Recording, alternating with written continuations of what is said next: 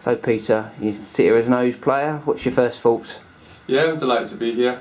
Uh, looking forward to getting started and, and hopefully playing some games. Been at Coventry after a spell in India. I mean, how's it how's it been at Coventry so far?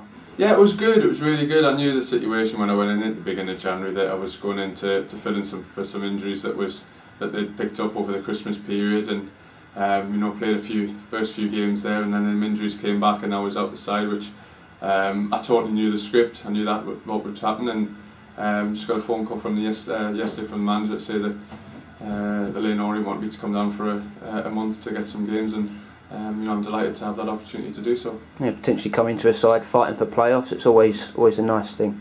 Yeah, definitely, and that was the situation at Coventry as well. You know, I went in when they were in the playoffs too, so it was a similar scenario coming in. Hopefully, uh, I can add some add something to the group that can that can keep get them in their playoffs and hopefully push on.